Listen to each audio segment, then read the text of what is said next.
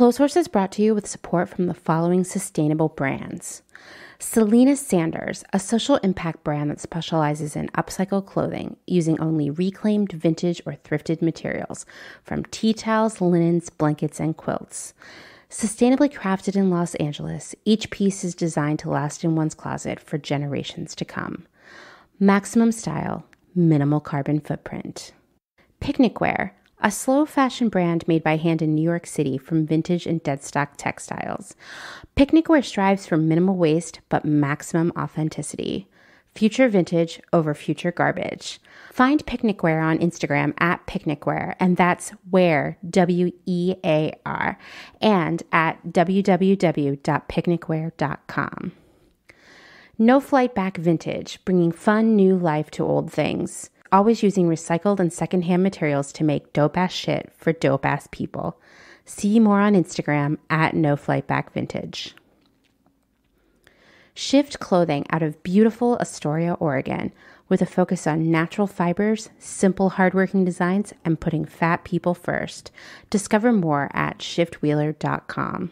Late to the party, creating one of a kind statement clothing from vintage, salvaged, and thrifted textiles.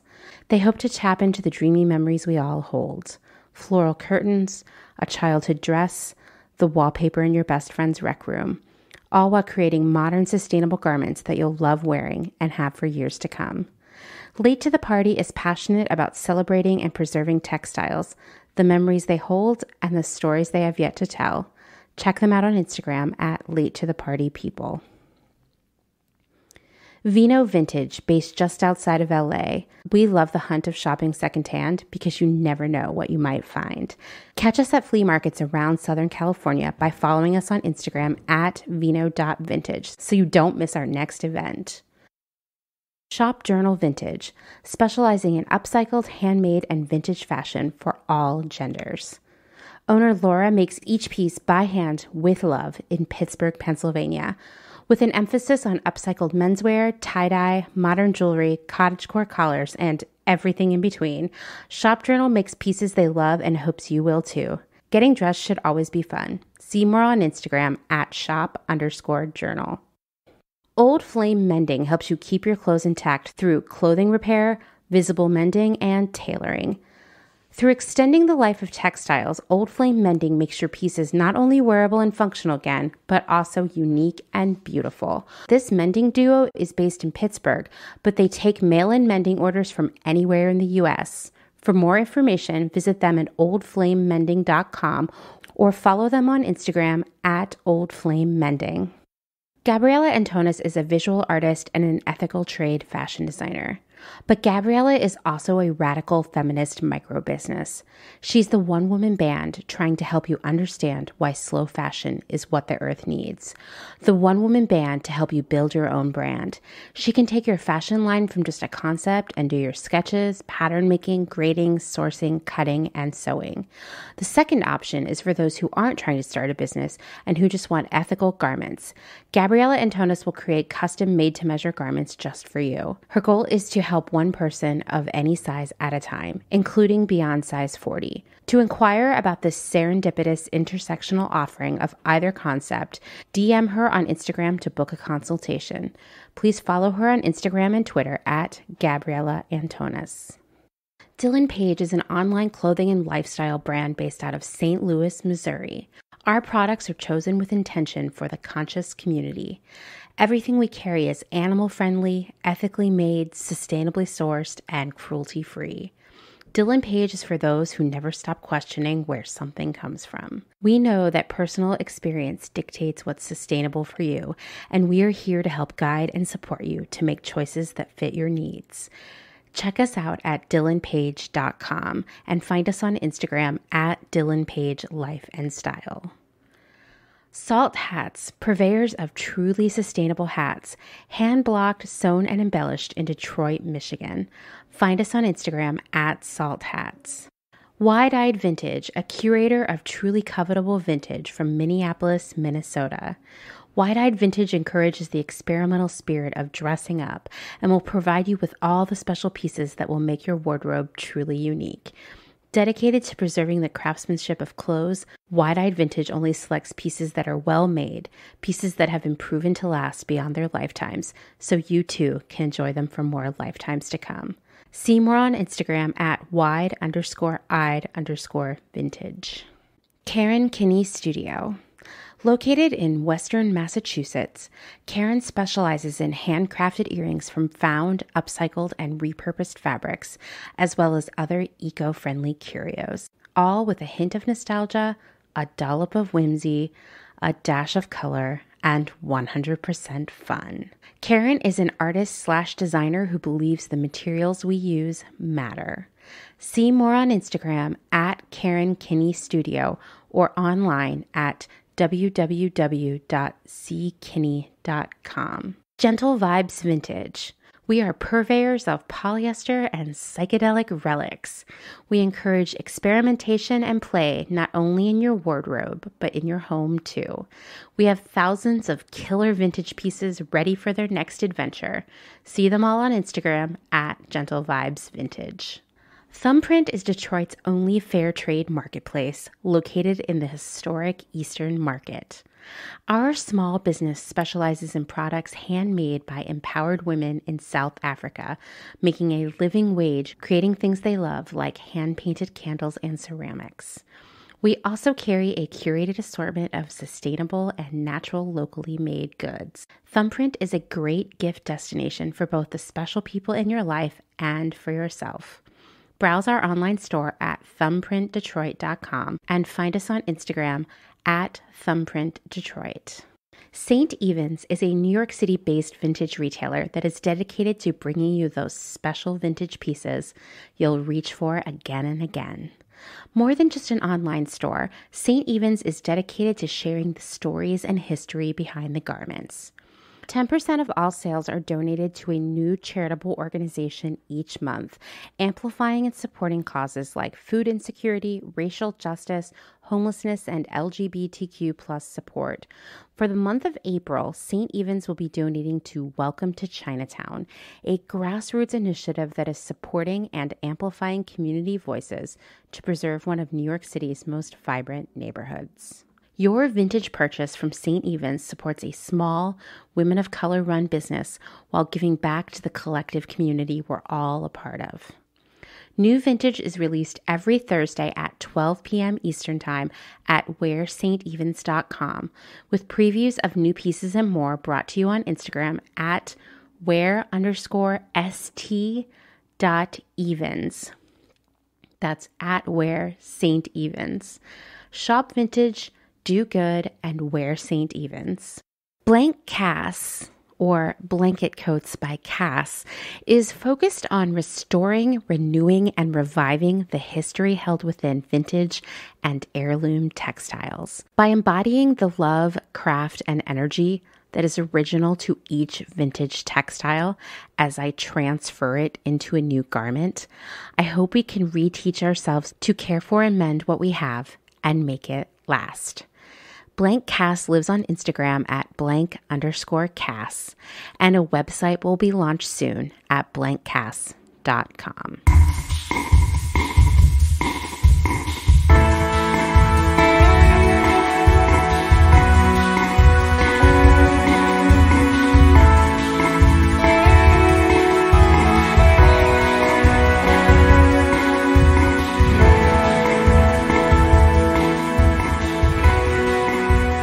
Welcome to Clotheshorse, the podcast that is reading so much stuff in preparation for Capitalism Month. Seriously, if you see me around and there's just a little bit of smoke coming out of my ears, don't worry. I'm just really going hard with all kinds of economic theories.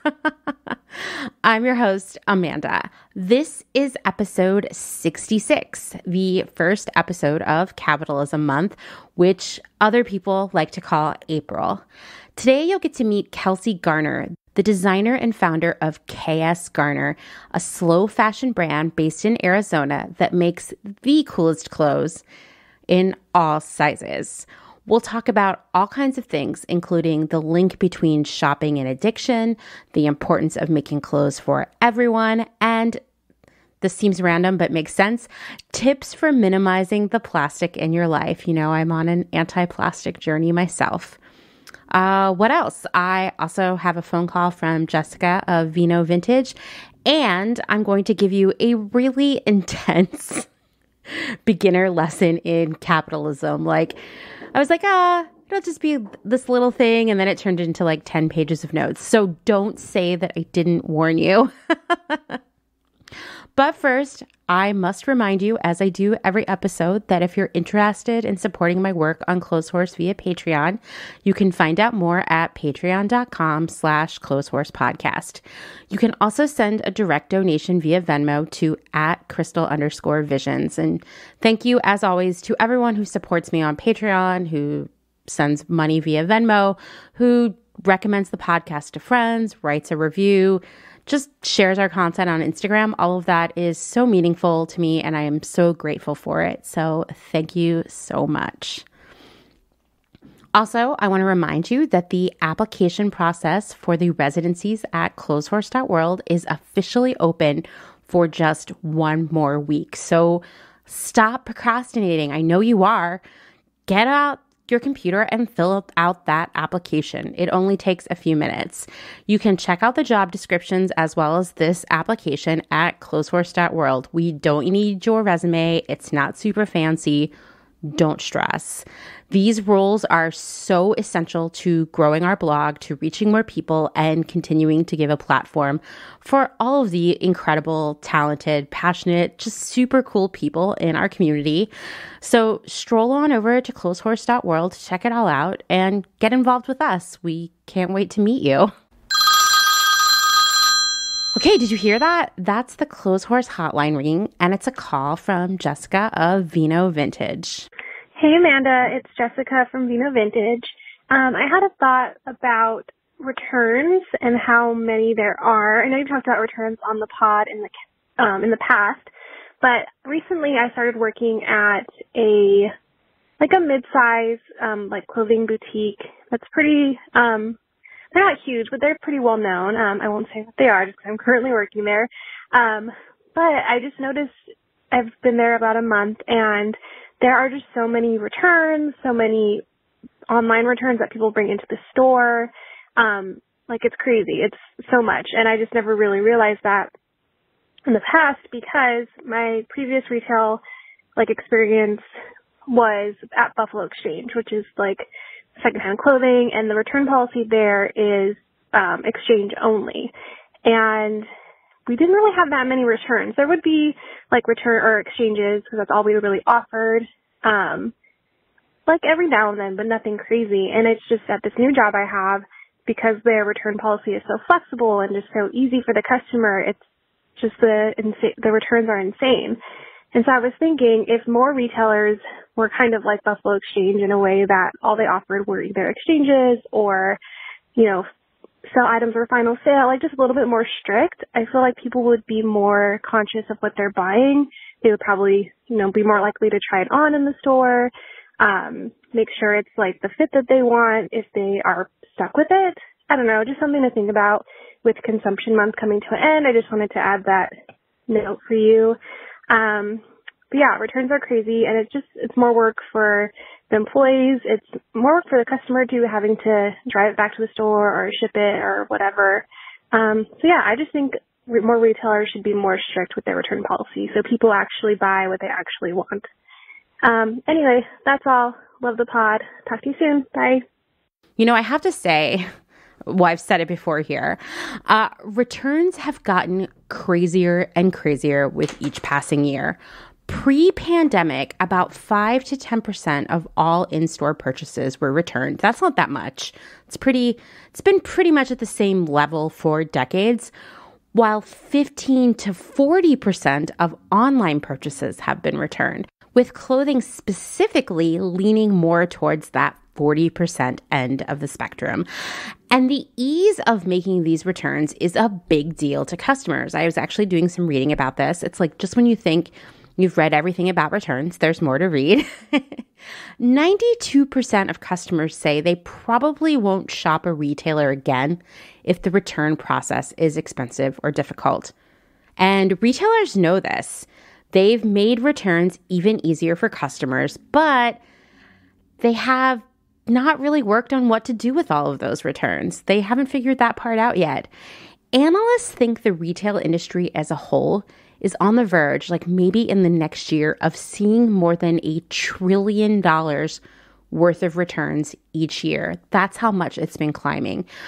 And as you know, a big portion of those returns are going to the landfill because retailers feel that it's just too expensive to cover these reverse logistics of receiving returns, inspecting them, and putting them back into inventory. Once again, they've invested a lot of time and money into making the returns easy for you, the customer, and they've kind of ignored their end of the problem.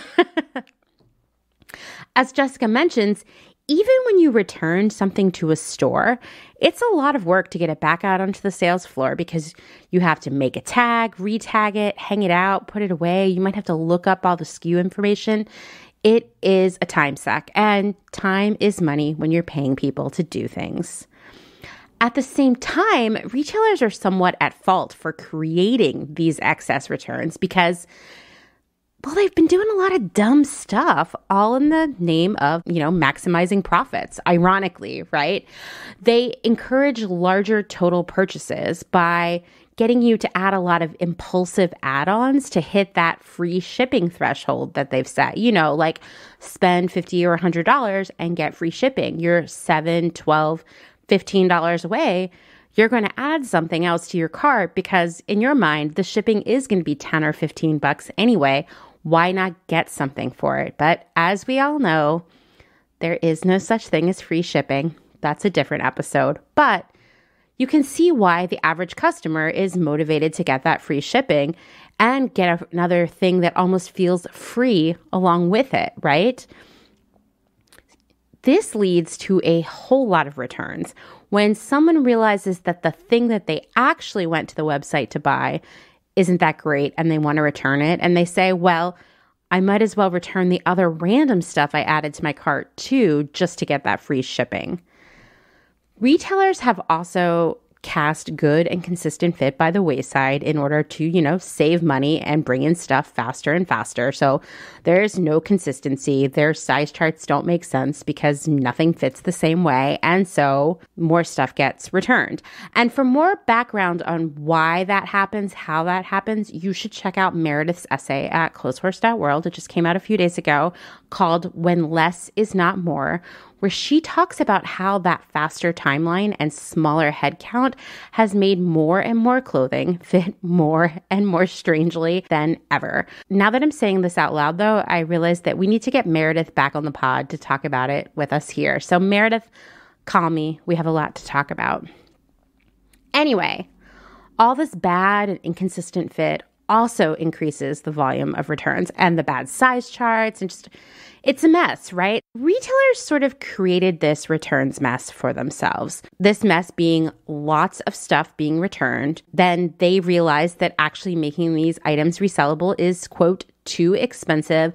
And then, therefore, they find themselves losing lots of money on this, quote, lost merchandise every year. But they're afraid to make returns more difficult to stop us from returning stuff so much because rather than us returning less stuff, we'll just go shop somewhere else because there's always going to be someone who's going to give us a free return, free shipping, all that stuff. Now, I would love to feel sorry for these retailers. Oh, oh, what a mess they're in, these poor guys. But instead, I'm sorry for a lot of other things. I'm sorry for the planet because all of these items are heading to a landfill. I'm sorry for the planet because the carbon footprint to make and transport these items was massive. And then returning them just made the carbon footprint even bigger. I'm sad because energy and cotton and metals and all kinds of resources were wasted to make future garbage that became garbage a lot faster than even these retailers planned. And I'm sorry for the workers who made pennies to make these items less and less with each year. They were exhausted, struggled, but somehow met that retailer's unrealistic and very short timeline. And I'm sorry for all the customers, all of us, because those retailers have to cover all that free shipping and unsellable merchandise somehow, and they do that by reducing costs as much as possible, using cheaper and cheaper fabrics, shoddier trims, and skipping the actual fitting process, all so they could still make a lot of profit after all that waste. My name is Amanda McCarty, and as you know, I was once a returnaholic. And my returnaholicism is that the term? Is that the clinical term? was caused by my love of free shipping, of impulse shopping, shopping with my feelings, and feeling as if returning something was the quote, right thing to do and somehow the more quote, sustainable option. We know now that returns are not sustainable, just even more waste. And I literally do not give a fuck about retailers losing money on returns, but I am frightened by the sheer volume of waste, of lower quality clothing, and workers making less and less money for their work just so retailers can more easily forget the things they throw out. We have to say no to free shipping thresholds. We have to resist impulse shopping. We have to stop over shopping with the plan of returning most of it. We've all done it. I've got a wedding coming up. I need a dress. I'll order a 10. I'll keep one. We can't do that anymore. The odds of those nine other dresses ever going to a new owner are so slim.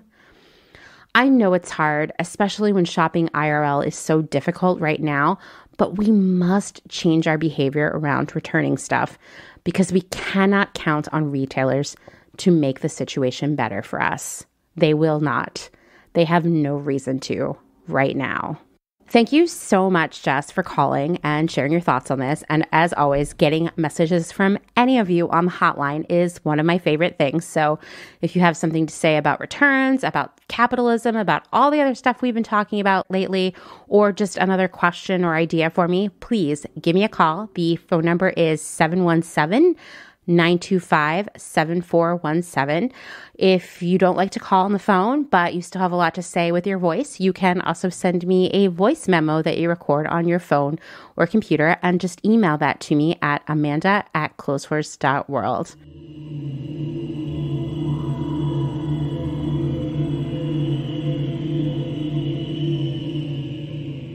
All right. Well, it's capitalism month. So let's let's just start at the beginning. Let's talk a little bit about what capitalism is. We hear a lot about capitalism on social media, and we know that being hashtag anti capitalist is a conversation that's happening right now. But while we have this idea that capitalism might be bad for us, bad for our community, we don't know exactly how or why. I feel like we kind of gloss over capitalism in school. Uh, I don't know about any of you. I did take an economics class in high school. I felt like we never really specifically talked about capitalism as a word, but we did talk about some of the pillars and market factors around it. I, I, I don't know. You tell me. Did you learn a lot about capitalism in high school? I'm committed to breaking it all down for you this month, just in case your economics class was as uninformative as mine. And while I'm doing this, I'm also going to show how fashion is a part of it. I'm not an economist. I just want to say that again. Like I said, just had some economics in high school. I would call myself an economics hobbyist. I don't know if that's a thing. Maybe I'm just a nerd, but I do find economics really fascinating. I think they're really tied to social dynamics, social trends, consumption habits, all of these other things that really are at the core of what we talk about here at Clotheshorse all the time. And it's been really fun to break down capitalism and see the parallels in fast fashion and in other areas of my life too. So hopefully you will enjoy this as much as I am. So, capitalism is defined as an economic system in which a country's trade, industry, and profits are controlled by private companies instead of by the people whose time and labor power those companies. As soon as you read that definition, you're like, oh shit, that's why capitalism is so lopsided and predatory. Once again, all the profits, all the assets for the most part are controlled by companies, not by the people doing the work. That's the simple breakdown of capitalism. Let's travel way back in time for a moment to the 16th century when feudalism had been the status quo for quite a while. Feudalism was a social system that existed in Europe during the Middle Ages in which people worked and fought for nobles who gave them protection and the use of land in return. So, peasants, also known as serfs, you may have heard that word. It's S E R F S, not you know, go out and catch the waves. That's with a U. So these serfs owned nothing, while the nobles owned all of the land and wealth. Peasants, these serfs, would live on their local noble's land. That noble was called a lord. And yes, there's no question of gender here because no woman would have ever owned anything. So we're going to be talking about these lords as a he. Uh, the serfs would give their lord their allegiance, their labor, and a share of their crops in exchange for military protection. And to be clear here, the lords exploited the peasants, often forcing them into abject, brutal poverty. This might sound like capitalism to you, but it's not quite because the lords didn't make profit off of this. They were just able to live without working because they received enough food and goods from their serfs to live a pretty comfortable and mostly idle existence. But you can't accumulate food year over year like you can money. You can't just stack it up in a vault. Unlike money and property, food does not appreciate in value over time. So there was a very clear limit to the wealth that these nobles could accumulate. Basically, rather than accumulating wealth, they were just consuming it to survive, right? But survive lavishly indeed. Nonetheless, this system, like capitalism, created very defined haves, the lords here, and have nots, everyone else. And the group of haves, the nobility, was very small, while the have nots, the peasants, the serfs, were a massive group. Put a pin in that idea because it does come up again, okay? Also, and I think this is another very important distinction between feudalism and capitalism, the average serf had no idea of the outside world. Most serfs lived within five miles of where they were born. They didn't travel, they didn't have social media to tell them what other people in other countries were doing with their time. They didn't know that they were missing out on anything. They certainly probably didn't even have a full grasp of the wealth of the nobility. And for the most part, they would have been very distanced, perhaps not geographically, but definitely highly distant socially from their lords and the rest of the nobility. And these serfs certainly weren't thinking about how unfair the lack of upward mobility was. They were just like, this is what we do. These are our lives. They will not change. So it was not very equal. It was not very fair, but thanks to serfs being too busy serving their lords to question why they were serving their lords, feudalism lasted for a long time until the arrival of the Black Death, aka the plague, that killed off up to 60% of Europe's entire population, about 25 million people. More than half of the people who lived in Europe were gone. I'm just going to stop here for a second and say this. It's just something to think about. Granted, COVID, I hope, will not be as devastating as this. But spoiler, I'm about to tell you that the Black Death basically ended feudalism. What if COVID could be the beginning of a shift out of our current capitalist system into a new system that maybe takes the best parts of capitalism but combines it with some other great ideas out there, you know, maybe like socialism? That's another episode conversation, but it's just something to think about because one thing that the pandemic has proven is that we can make drastic changes to our lives pretty fast. We don't want to squander everything we've learned and experienced in the past year by going back to quote normal. What if the new normal is something better than the normal of the past? Think about it. We'll talk about it again later. So, yeah, I did spoil it for you, but the Black Death essentially caused a collapse of the feudalist system because, like I said, more than half of Europe died.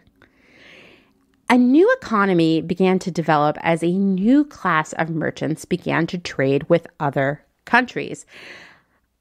other countries that hadn't been impacted by the plague in the way that Europe had been. This had a few effects, and here's another spoiler none of these effects were good. Uh, local economies collapsed because these merchants were bringing in cheaper goods from around the world. And as the primary conduit for these goods, these merchants could dictate the pricing, the production, the quality, the exact product that they wanted, etc. Is this starting to sound a little familiar to you?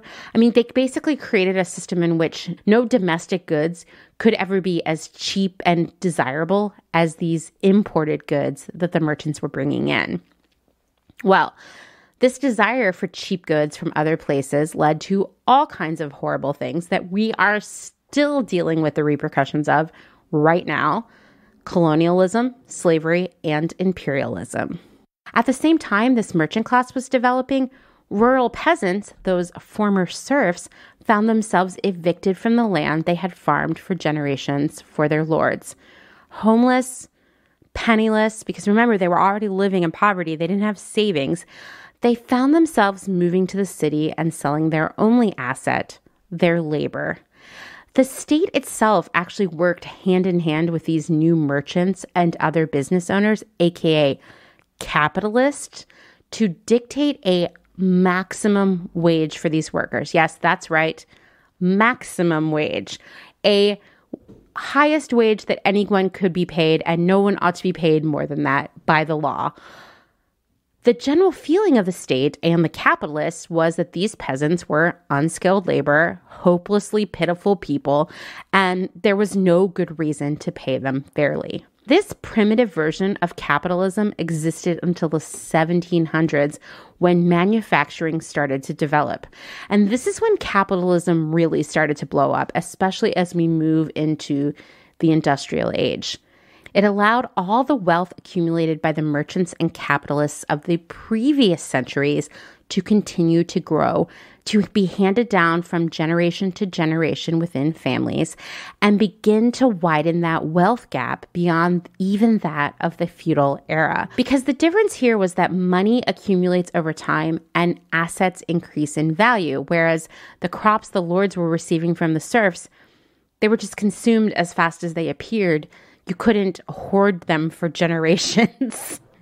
there was no ceiling to the amount of wealth one could accumulate under this primitive version of capitalism and in today's modern capitalism as well. You know, I read recently we live in the golden era of the billionaire. Apparently, we have twice as many billionaires as we did 20 years ago.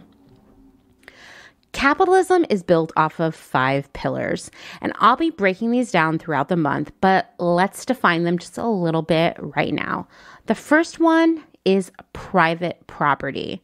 Private property allows people to own tangible assets like land and houses, and intangible assets like stocks and bonds. A lot of the inequality of capitalism sort of starts with the concept of private property because, in its purest form, you're probably already picking up on this based on the story of the development of capitalism.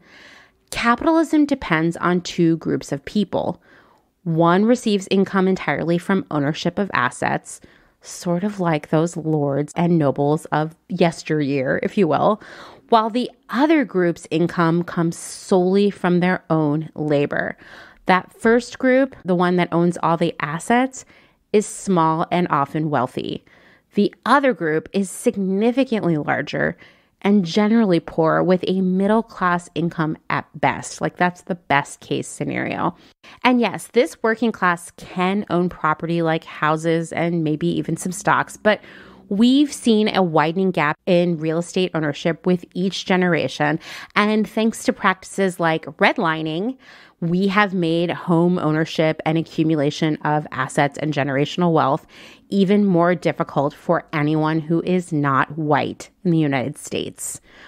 You've probably heard the term generational wealth thrown around, and it refers to any kind of asset that families pass down to each generation, including land, money, stocks, and even entire companies.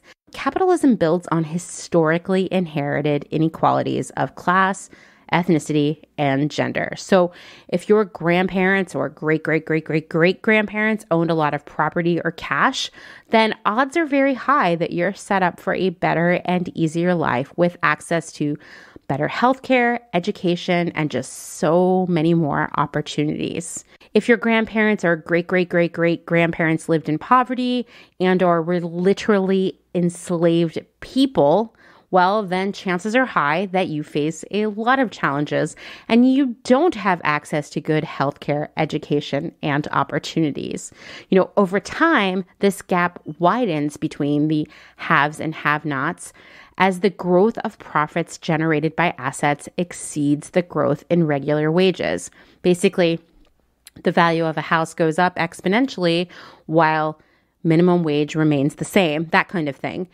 The rich get richer and the poor stay poor, possibly even grow poorer, because we also have to remember that we're dealing with a long term decline of the middle class, which, if you remember what I said, I don't know, 30 seconds ago, for the working class, middle class is about as rich as they're going to get. So now that's even out of reach. So, to give you a better idea of how this inequality shakes out in the United States, in our capitalist system here, the top 10% wealthiest people here in the US earn a living the way most of us do. They work for it at a job of some sort. But take that group even a little bit smaller to the top 0.1%, and there things are a lot different because the truly rich don't get their money by working for pay. They get their money as the result of their pre existing wealth. See, they already had it, right?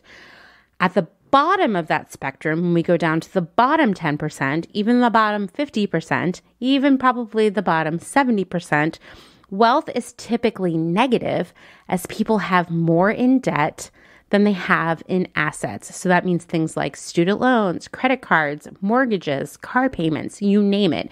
Anyone you're making a payment to every month for something that you bought a while ago, that's debt.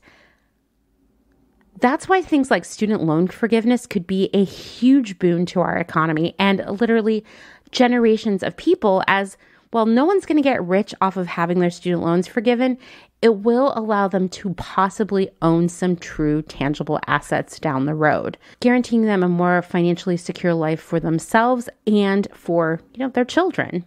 I have a lot of feelings about property, about the inequality that comes from that, as you can tell already, and we will actually be talking about that in the next episode. The next pillar of capitalism is supply and demand, which when we learned about capitalism very limited, like I said, in economics in high school, we focused so much on supply and demand. It's like the one thing I think I learned. And supply and demand literally determine the price we pay for things. Supply is the amount of something available, and demand is basically how many people want it. If the good or service you're selling is in high demand, it's worth more, meaning people will pay more money for it. For example, if you want to buy land in the middle of nowhere, it's probably going to be pretty cheap because it's not that close to many things like cultural stuff, shopping, schools, healthcare, all of that. So it's a little bit less desirable and kind of, you know, plentiful. But if you want to buy a place in, say, San Francisco, it's super desirable because it's a beautiful city with lots of stuff going on, so many people want to live there. So it's going to cost you a lot more for a lot less. From a retail perspective, if your volume of inventory, like the amount of stuff you have to sell, is larger than the number of people who want to buy it, well, it's not a good story for you. It's good for the customers, I guess. So if you have 1,000 shirts, but only 50 people want them, you're going to have to mark those shirts down to a bargain basement price to get 1,000 people interested in buying them. But if you have 50 shirts and 1,000 people want them, well, you can practically name your own price on those because they're like extra super desirable. And this is some way, I mean, just in my experience in retail, uh, sometimes retail sort of shoots itself in the foot because they'll get that one item where they only bought 50 and 1,000 people want it. And so they think, okay, let's make 10,000 of these. by the time the 10,000 shirts or whatever it is arrive, there aren't 10,000 people interested in it anymore because they've moved on to something else. And so then they're suddenly like, we have 10,000 and only 50 people want it. Let's sell it all for $9.99. This happens all the time. And it's one of the big gambles of being a buyer is knowing when is the right time to reorder something and when is the right time to walk away. And there's no easy answer there ever. It's just one of those things you know in your gut. When we look at the wild and irresponsible overproduction of clothing today, which I've talked about in the past, and don't worry, we'll be talking about more, we see that the supply of clothing will always exceed demand. It's wildly exceeding demand right now. And what does that mean? It means low, low prices and deals, deals, deals for all of us because these retailers know they're making more than they can sell. They need to try to sell every last unit to us to the best of their ability. Of course, they don't sell it, it ends up being burned, going to the landfill, but they're trying their darndest. I promise we'll talk about that a lot this month too. I promise we'll be talking about that more this month too, because the overconsumption of fast fashion and just fashion in general has really turned the very classic, very desirable to high school economics teachers model of supply and demand kind of like upside down. Next is competition, which is often seen as the heart, perhaps the greatest value of capitalism, because competition breeds innovation, quality, prices, efficiency, all of that. But here's the caveat only if the supply doesn't exceed demand. So when we talk about fast fashion, there isn't a lot of innovation or better quality there. In fact, when I was just talking a few minutes ago about returns, you know, retailers have kind of abandoned both of those ideas because all of these retailers decided the thing that they were going to compete on was price and they sort of raced one another to the bottom. Now everything's super cheap and they're kind of stuck there overproducing and selling stuff for cheaper and cheaper. And I don't know how they get themselves out of this. This is one of those things you read about a lot in industry publications where it's just like, how do we fix it? How do we stop being the cheapest? Like, it's going to take everybody holding hands and saying they're not going to overproduce and sell tons of cheap shit. And I don't think they're going to do that. Anyway, we'll talk about that more this month too. The next pillar of capitalism is freedom, and that's the one that libertarians really love. Freedom in a capitalist economy means that no one can tell you what to do in order to earn money, and no one can tell you how to spend it. But I would argue, and so would a lot of other people, that people living in poverty aren't really free to pursue their best lives and maximize their skills and income and do whatever they want because they're already locked into struggling to survive. And we'll also talk about freedom this month. Last is incentive. And incentive is the motivation to make more and more money, to build a successful business, to innovate, to beat the competition, to live that dream. I would say greed is the incentive here. And you might hear the phrase greed is good and cringe. I know I do. That ugh, that's not a sentiment I support or agree with. But fans of capitalism think that's a very positive statement. For them, greed fuels competition, profit, and innovation. Lots of other things too, which does benefit those who can afford to participate. But anti capitalists will say that actually Greed leads to exploitation of humans, disregard for the planet and its resources, and all around lack of consideration for the intellectual property of others, aka knockoffs. Sounds a lot like fast fashion, right?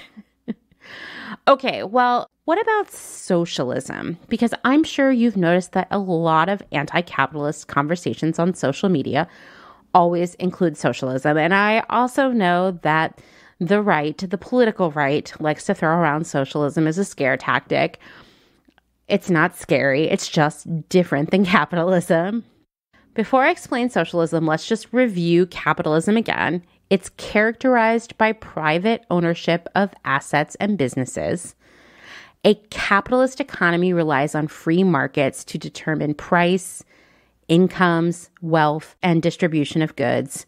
And at its core, it really relies on inequality. It needs wealth disparity to function. And it has been completely full of inequality since its origins. The most ardent supporters of capitalism want the government to stay out of business and let the competition of the free market solve problems. They believe the freedom is the key component to capitalism's success. Socialism is an economic theory of social organization which advocates that the means of production, distribution, and exchange should be owned or regulated by the community as a whole. That's a lot of words. Totally got it from the dictionary. So, how about this? Socialism requires greater government intervention and sort of social intervention to reallocate resources in a more egalitarian, equal way, meaning less inequality, less private property, less of a divide between the haves and the have nots. Mostly just instead of a few people who have a whole lot and a large group of people who have little, everybody just having about the same amount.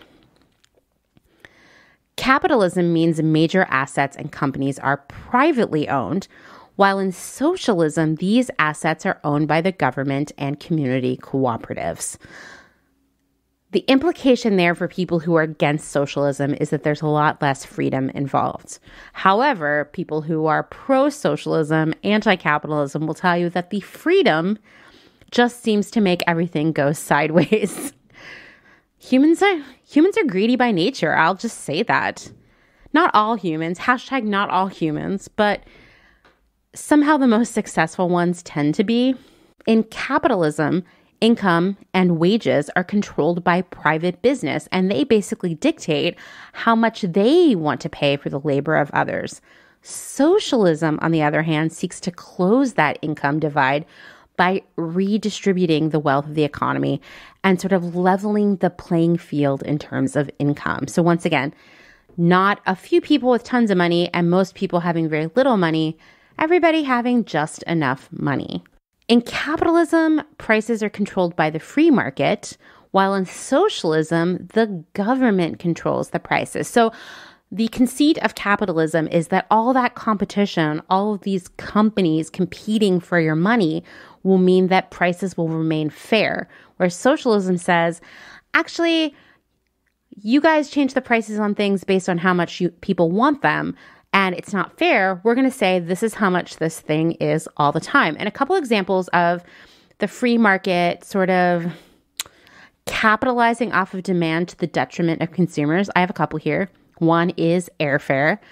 Uh, the price of plane tickets is totally bizarro. And I've read so many articles about how to game the system and certain days of the week and times, best times to travel, and on and on and on. But the reality is that airlines know that the sooner your flight is, the more desperate you are for a ticket, the more you'll pay. They also know that certain events are more desirable than others, and so they will price accordingly around that, jacking up the price for a major event, the best travel season, etc. Another example, um, and I'm sure all of you who live in colder climates experience this. It's how your gas and oil heat gets more expensive in the winter. Conversely, I think that in some places electricity becomes more expensive in the summer because of all that air conditioning. So those are a couple examples of how supply and demand change prices. Socialism says no, the airline ticket's always going to be the same price. So is your heat, so is your electricity. A next major difference between socialism and capitalism is taxes, because capitalism in its purest form functions under this idea of minimal government just minimal government. I was going to say minimal government intervention, but really just the least amount of government. And so, therefore, less taxes. You don't need to pay as much money into the government if there's not very much government going on. And this is part of the Republican conservative platform. And that's why we've seen a lot of government defunding during the last administration, during the Bush administration. Definitely during the Reagan era, like to an extreme, totally reworked the way our government works. Well, socialism has a lot higher taxes because socialism is almost like maximum government, specifically the social safety net being just so much larger, more inclusive, and more comprehensive. And that includes healthcare and education, which have been privatized here in the United States and are, to be clear, a train wreck. so, right there, if, if you like to go to a doctor and not think to yourself, should I see a doctor or pay my rent, but actually be able to have both? You might be a fan of socialism, just saying. In a socialist economy, these industries, healthcare and education, and lots of other ones, are controlled by the government, so they're more accessible and affordable to all people, hence the higher taxes. I would love to hear from someone who lives in a more socialized economy like Canada or the UK. Please tell me, what is it like? Do you feel like you're broke because of your taxes? Or do you feel like the healthcare and the education more than make up for that? I would love to hear from you because in here in the United States, we pay a pretty decent amount of taxes. And I mean, you know, listen, I'm glad we have roads to drive on and all of that stuff, but like people go bankrupt when they get sick. People choose to die rather than getting health care. People can't finish school because they can't afford it. People live under crippling student loan debt that prevents them from doing anything with their lives. I think I'd rather pay higher taxes and just know that everyone was going to be cared for. The thing is, I know I'm making socialism sound really great, but like all isms, neither of these systems are perfect. Probably because people are not perfect and consistent and reliable and some people get greedy and you know, you know, all the people things, all the things that make us people. Sometimes they prevent some of these things from playing out to their best most optimal goal, right? we know already because we live in it that capitalism leads to exploitation, a lack of concern for the greater good, monopolies, and really, really intense inequality. But socialism in its purest form is also not perfect. It often leads to inefficiencies within the system. And there's a lot less incentive for innovation because you don't have that greed driving people because everybody's going to make about the same amount of money. So why hustle super hard to invent something new or a better way of doing things? We'll be talking about this a lot more through the month, but I think that the best solution is a fusion of these two isms, socialism and capitalism, sort of taking the greatest strengths of both. It's called, well, some people call it this social capitalism, which is kind of a dumb name. I think we need a name that is none of those words. I don't know, like we need a rebrand. But social capitalism, just what we're calling it until we come up with a better name, is a capitalist system that is structured with the ideology of liberty, equality, and justice. But instead of aiming to accumulate only like financial forms of capital, like our current capitalist system, so basically, instead of stacking money as the end goal, it explicitly values all forms of capital. So that means social capital, human capital and natural capital, like the resources around us, our beautiful, wild, and miraculous planet. This form of social capitalism, like I said, just a name we're holding on to until we rebrand it. It needs to have a much stronger social safety net that provides healthcare and full education for anyone who wants it, along with nice places to live, access to good food. I know you're laughing at me right now and saying, How is that even possible? But I'm going to tell you, it is possible. We'll be getting into this all throughout the month, but I think there is a way to re envision our current system that isn't painful for most of us. Maybe it's a little painful for the super wealthy. It would be hard to wake up one day and be like, I'm not a billionaire anymore. But would it really, would it be harder to not be a billionaire anymore, but be comfortably wealthy than to not be able to afford a place to live? I'll let you discuss that on your own. Okay, well, I hopefully haven't bored you to death. So, if you are asleep right now, please wake up. This is your wake up call so you can go meet Kelsey of KS Garner. And I've been talking for so long right now, I'm just going to jump right into this conversation. So, let's go.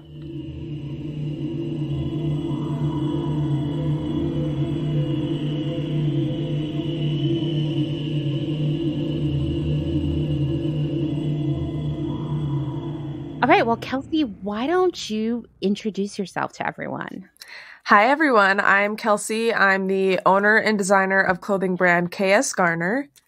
And KS Garner is a slow fashion clothing brand that's made to order, and we focus on size inclusivity by offering extra, extra small up to 4XX and custom sizing. That's amazing. Where do you live? I live in Phoenix, Arizona. Well, I knew this, but I'd sort of filed away for future reference.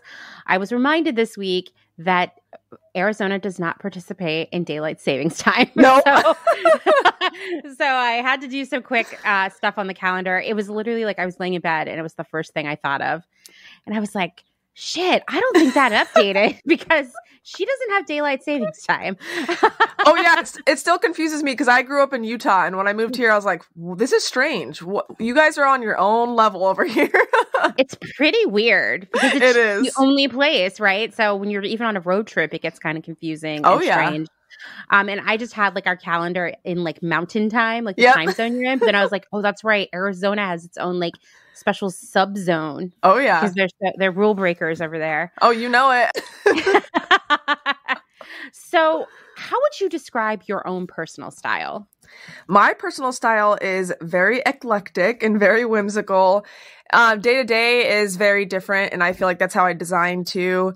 Some days I can be very mod, or some days I can be very retro, very cottage core. It just it depends on my mood, so it's different day to day. Oh, same for me. I'm all over the place. Me My too. closet is crazy. you obviously love style. You love clothes. You obviously use clothing as a personal expression. Did you always plan that you were going to start your own brand and be a fashion designer slash company? No, um, when I was younger, I always liked to sketch clothes just for fun, but I don't think I ever thought of it like as a career. And Mm-hmm. my grandma is an avid sewer. She had different businesses when she was younger, but I never wanted to learn. Um, soccer was my life growing up. And then when I came out to Arizona, I met a teacher when I was um, touring MCC, the community college, and she was a fashion teacher. And I was like, hey, this is cool. I like fashion. Maybe I'll just like dip my toes into it. And then I was fully immersed and I loved it. what was your journey to starting your own brand? Did you work for someone else before that and kind of get motivated? Or was it just like, I'm going to start right out of the gate doing my own thing?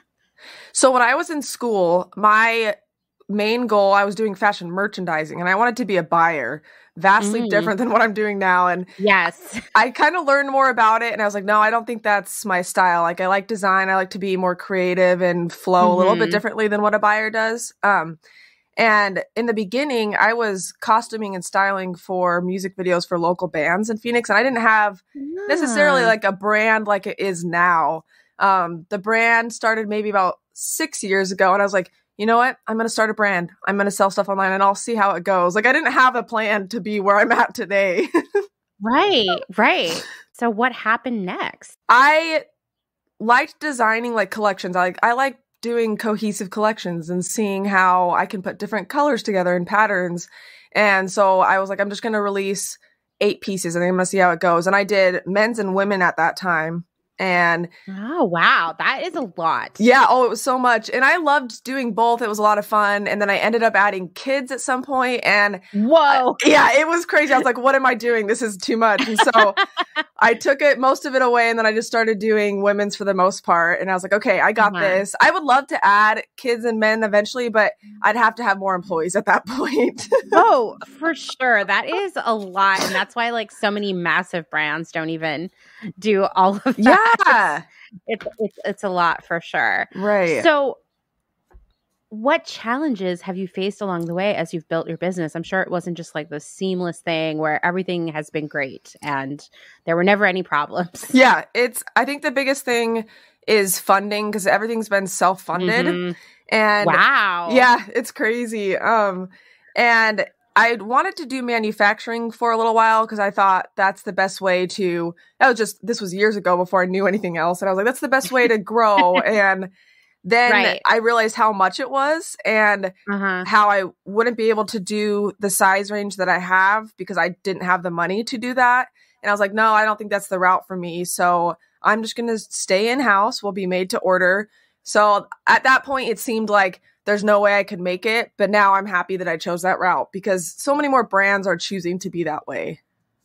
Yeah. Yeah. It's interesting that you would bring up the manufacturing angle because I have seen in the last few years a lot of smaller brands sort of trying to take that on, basically like saying, like, how I'm going to fund my own label is by making private label for other companies. And I've definitely Mm-hmm. been approached by different brands to do that of various jobs I've had where, you know, they could make anything for us.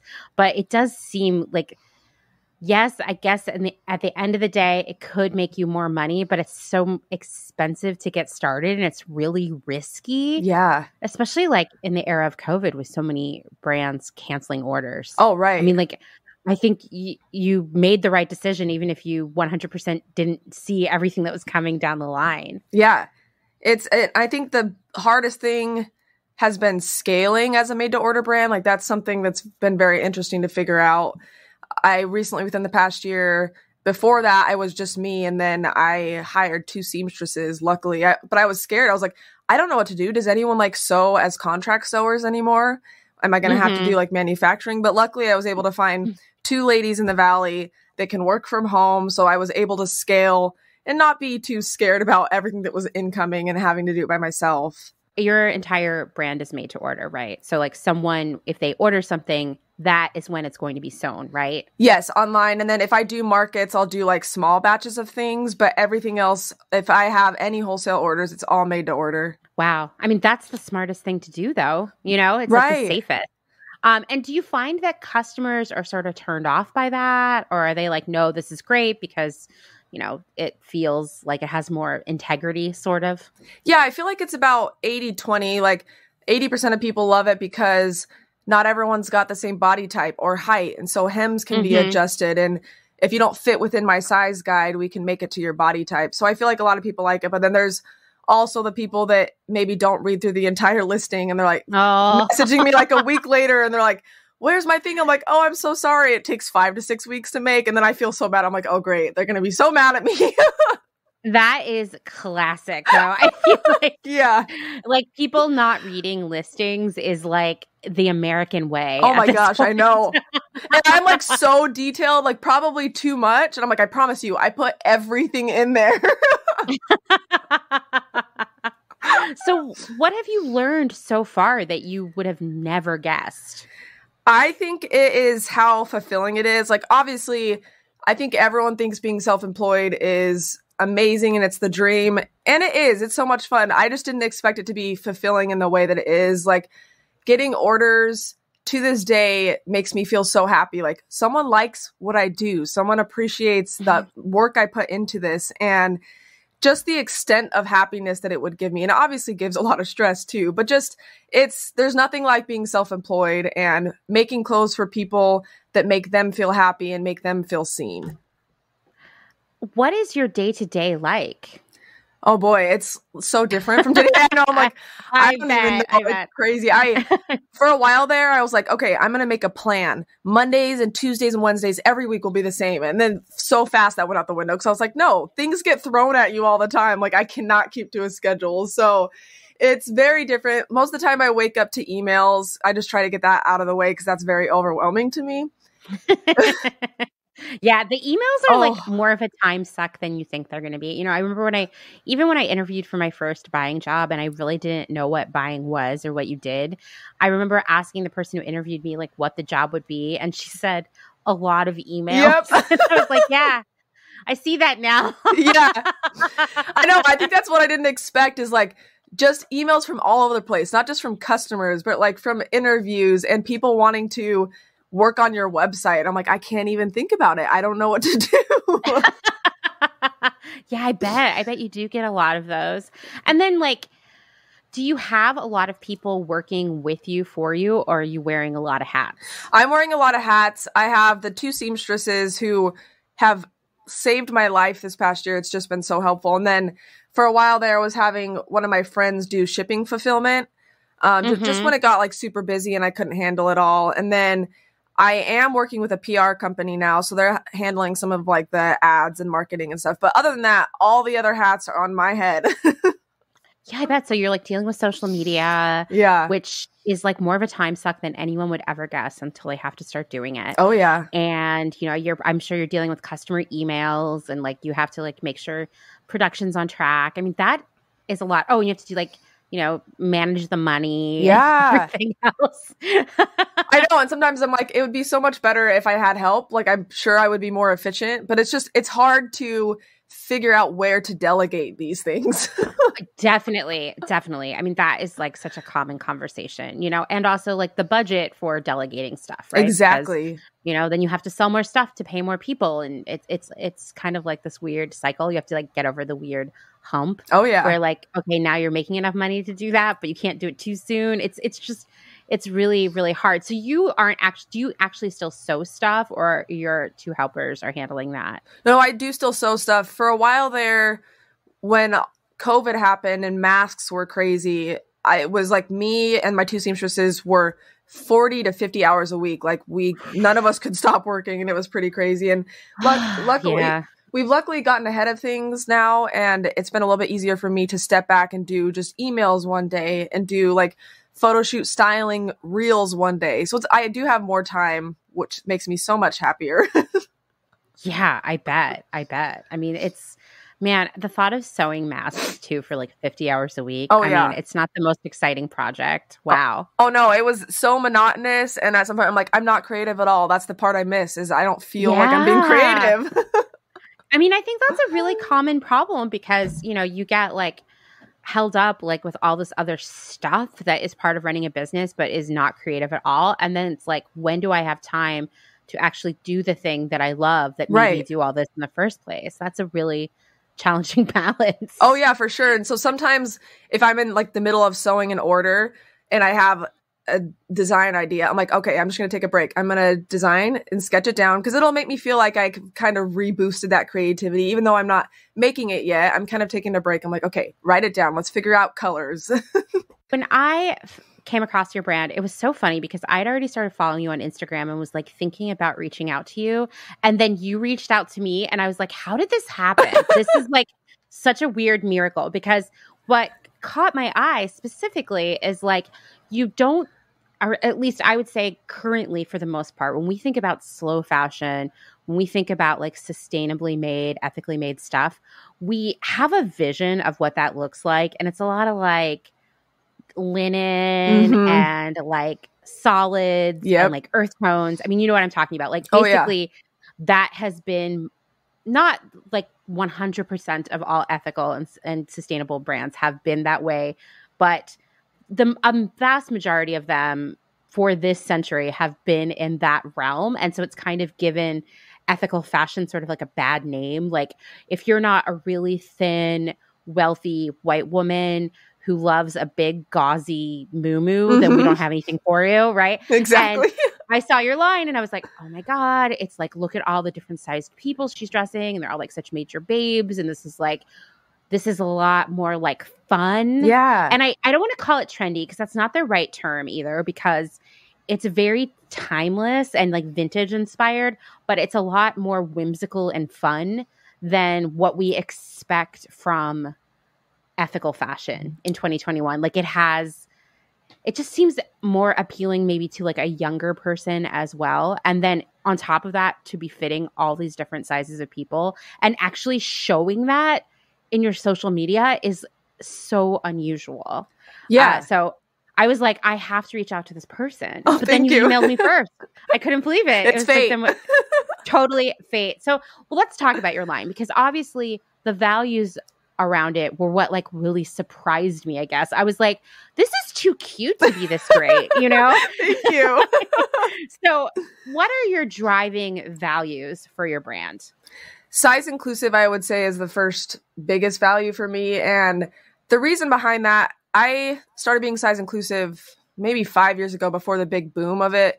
And it was mm-hmm. because of my own journey. I struggled with an eating disorder for five years, and then I struggled with alcohol addiction for like six or seven years. And that was for issues with my own body and issues of the past and not liking myself. And so when I started my brand, I was like, I need a brand that is going to cater to younger Kelsey what would she would have wanted to see? Like, Yeah. yeah. And so I was like, I need all bodies. I need people that are confident and happy in clothes that make them happy and everyone can buy it. I'm not excluding anyone. So it was mostly for my own story and trying to help me and younger me. um, and then Yeah. sustainably made and ethically made is my, I would say, second biggest value. And being able to employ people here in Phoenix is so nice. And paying seamstresses a living wage, paying myself a living wage when I have to sew, um, and being made to order. Like when I started that, I didn't know much about slow fashion or ethical fashion. It was just because it was the most cost effective for me and it made sense. so I was like, I mean, it works out. I know. It is. I mean, that is right there. That says a lot because I think, you know, one of the things that I hear the most is like, well, it's really expensive to make slow fashion, to make like ethical fashion. And that's why there's so much fast fashion. And I'm like, uh, that's not exactly true because when I look at the prices on your website too, like they're more affordable than say, you know, like Anthropologie Yeah. or even Madewell in many situations. And those are both fast fashion brands yeah. price isn't the only hang up that people seem to think exists. The other one is like, well, it's really hard for slow fashion to make more sizes. And I hate that. I hate that ethical fashion right now for the most part ends at a at a very small size large, Yeah. you know? yeah. And I think you're proving that you can do both. Like have you found that actually being size inclusive is really challenging to your business model? No, I don't think so. I think there was a learning curve for me for a while because I also do all the pattern making and the pattern grading. Mhm. And Mhm. for a while, I I just would make the size small and then pattern grade up from there infinitely. But you can't do that; it doesn't work like that. Right. No, yeah, definitely not. Yeah, and so I feel like that was the biggest learning curve for me. And so that was like um hanging out with my friends and like learning from them like what's your biggest challenges with fitting um and all different size of friends and then doing fittings with them and learning as i go like okay you don't just add a quarter inch every single size on length because people don't just continually get tall No, and their arms don't get like longer and longer. I definitely like at different points in my career when I've been trying to develop product in extended sizes with like re- vendors who don't normally do that. The first sample we get is always really bizarre. It's made for someone like who's like six five yeah and whose arms go down to their knees. it's hilarious it is. It is. I mean, there's just so there's just like not education around it. It's Right. really frustrating. I was I was listening to a podcast that I I love this morning called Maintenance Phase, and it kind of like debunks all of these like diet and wellness and just nonsense bullshit that's out there. And uh, today it was actually about Weight Watchers and how Weight Watchers has been.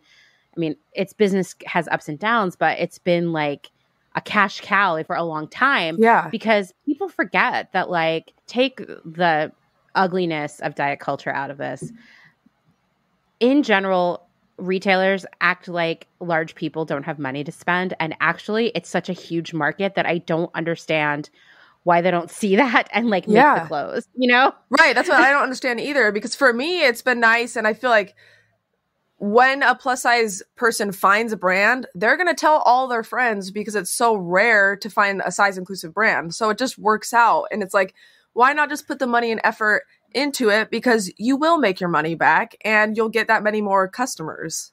Yeah, I just don't get it. I mean, even, you know, one part of my career, I was working for ModCloth and we were really trying to get more and more of our like manufacturing partners to do extended sizes for us because ultimately that was where the money was for our business. Yeah. Like that was what was allowing the company to grow in a time where it, the business had been around for so long it had kindly kind of reached every like you know straight size customer out there there was no more growth there like if they wanted to continue to grow they had to like you know really think outside of that Yeah. and every vendor that I tried to onboard was just like so difficult about it.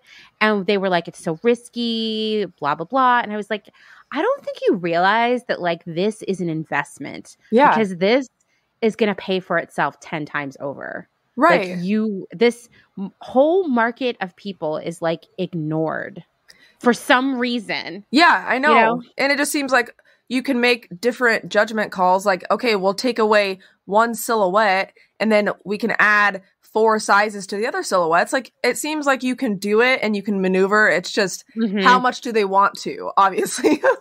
Yeah. I mean, this is something we talk about time and time again here on the show, which is like people who are, say, smaller than a size 12 or 14 and are not, you know, petite, are of average height, if you will, uh, those people have almost too many shopping options. Yeah. And every retailer is pandering to that person.